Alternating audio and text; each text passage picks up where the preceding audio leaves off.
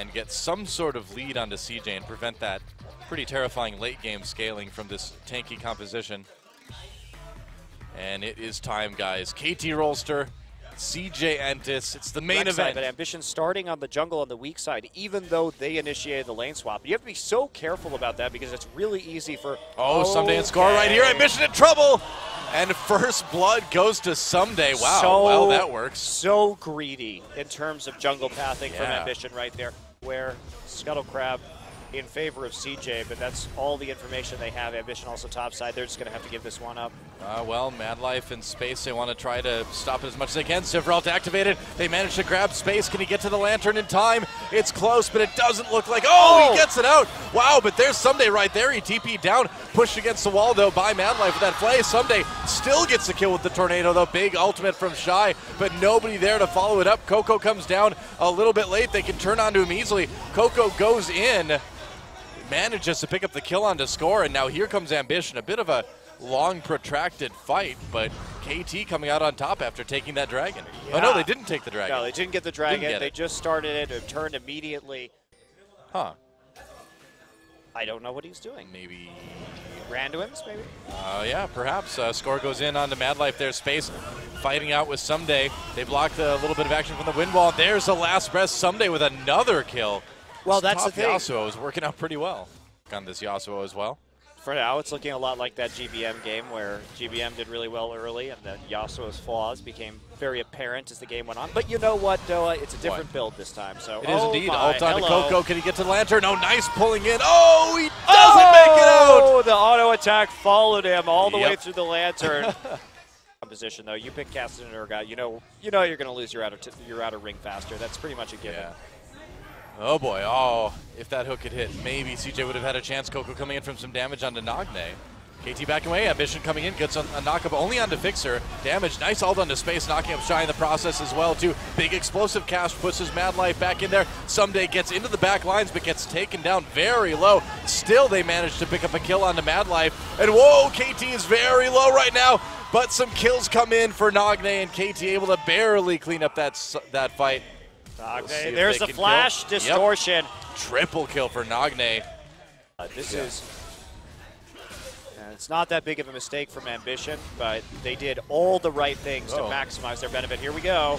Fixer gets grabbed. Oh, Ambition tossed into the Yasuo out again. Meanwhile, Nagne just blows up Shy. You just cannot get caught by this KT team. There goes another one. Double kill again for Nagne. Fixer in trouble here. Space uses that position reverser. Space getting very low. Another kill comes in for Ssumday. Yeah, KT. Yeah, it wasn't up. Oh, here we go. Mad Life trapped against the wall. Space in a lot of trouble too. Can he get to the lantern? Uses the position reverser. Gets himself away from the lantern. Whoops. Oh, Space. Oh. Oh well. Did go for that IE first, but I mean, it still works. Nice wind wall to block that. Ambition again caught. He's just not been in good position. There goes Mad Life immediately. Coco in a lot of trouble as well. Last breath on the space, and Oh. Coco for a double kill. Coco tries to get away, but there's a kill for Nagne. Nagne has been such good cleanup. Looks like the turret is going to do what CJ hasn't been able to and finally kill Ssumday. But uh, It took two two turrets right there. KT just such an overwhelming advantage. And Yeah. This is looking much more like the KT that we saw towards the end of last season. Just incredibly hard driving team that if you give them a lead like this, they will just continuously dive you and fight you and play out that lead quite well here. There's not really anything KT's been doing that's been overly risky. It's just been very punishing play. Right. And so two inhibitors taken down by KT now. Top was the biggest factor in this game. I mean, they're playing. I'm not saying that, but I, I'm saying they're doing it well. You know, they're yes, playing into it well. True.